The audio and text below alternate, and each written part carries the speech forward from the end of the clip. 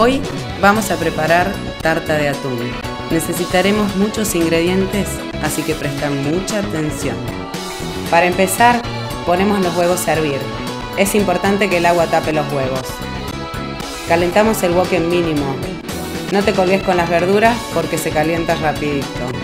Picamos dos cebollas grandes lo más chiquito posible.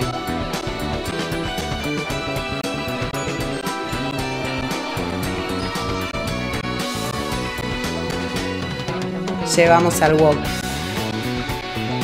Ahora un pimiento rojo, pero bien rojo.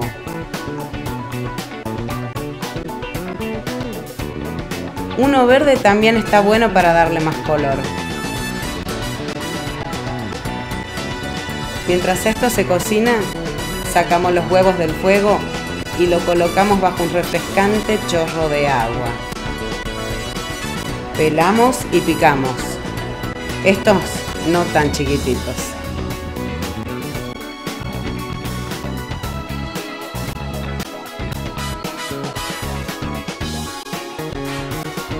Llegó la hora de la alquimia. Los vegetales ya acabaron de segregar sus jugos.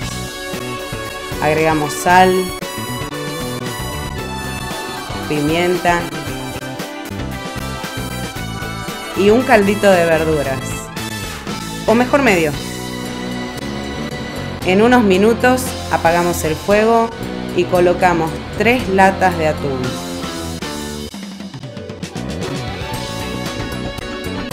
Mezclamos y le agregamos el huevo. Despacito. Mezclamos suavemente para no romper los huevos. Mmm. A esto le falta algo. Aceitunas.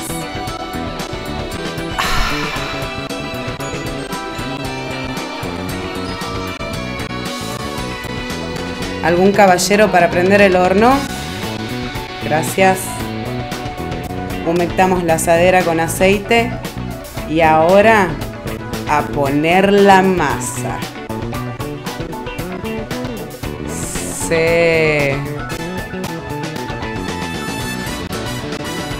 Con mucho cuidado estiramos hacia los bordes y volcamos todo el relleno. Tapamos y unimos las dos masas para hacer el repulgue. Si este no te sale, improvisa.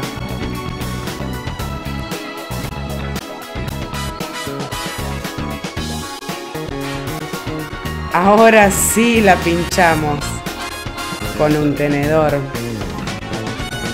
Un último huevito para darle el toque final. Con delicadeza hacemos que llegue a todas partes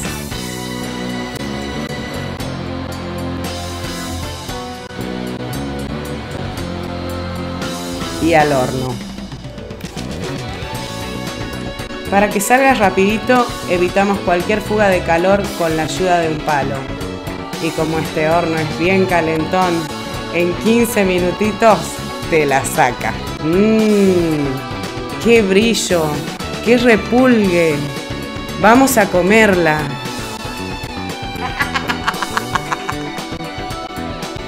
Bueno, la cortemos. Hay visitas.